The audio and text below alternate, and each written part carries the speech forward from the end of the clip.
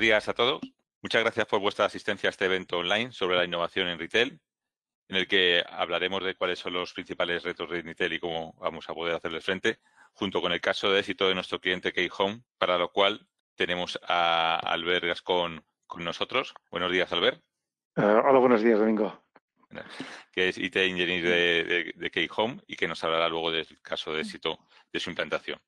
La agenda del evento online será eh, una primera parte en la que os explicaré cuáles son a nuestra forma de ver los, retos del retail y cómo podemos hacerlos frente. Hablaremos de, la unicanalidad dentro de esos retos y cómo las herramientas de gestión permiten hacerlos frente de una forma mucho más eficiente. Para ello haremos luego zoom en el mundo de los procesos, de los sistemas más de gestión y de conocimiento del cliente.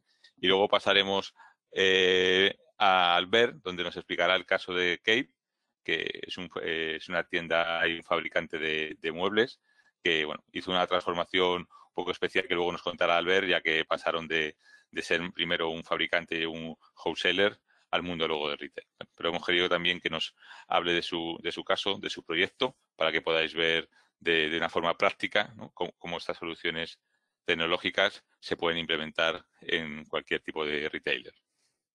La duración aproximada del evento será de una hora.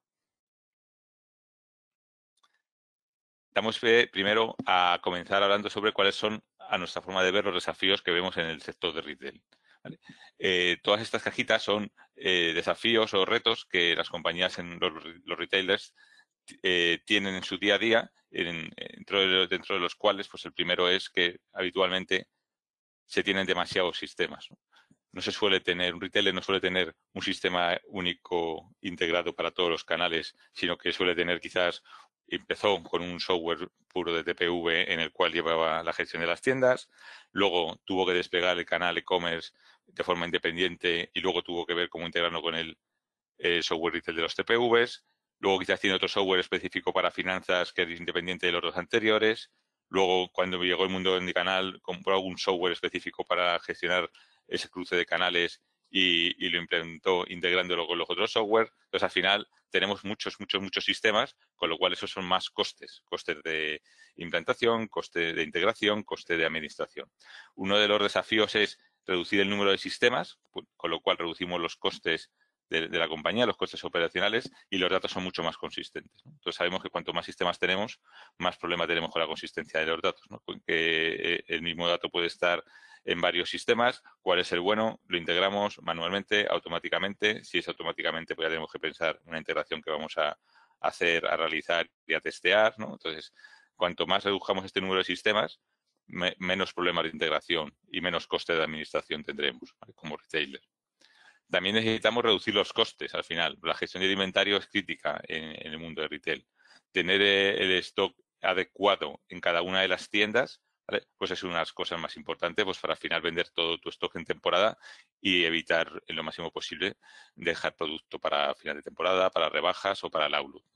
Eh, para el perdón. Con lo cual, toda la parte de reaprovisionamiento y optimización de inventario, pues es otro punto importante, otro desafío que cualquier retailer tendrá también tenemos muchas veces falta de control. Eh, lo que hemos comentado al inicio, el tener múltiples sistemas que al final provocan datos aislados o integraciones a realizar, información que no es consistente, pues no deja unos procesos claros en la compañía y eh, pues evita tener un, grado alto de control sobre la información, O cualquier tipo, de, cualquier tipo de análisis que queramos hacer sobre la información de nuestro negocio.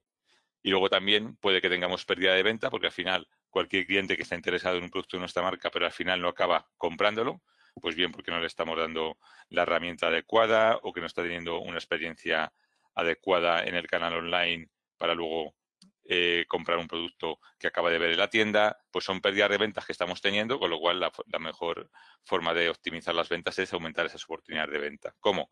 Pues con gestión eh, adecuada de la fidelización, Saber qué hacen todos mis clientes en cada uno de los canales y todas las interacciones que tiene con la marca.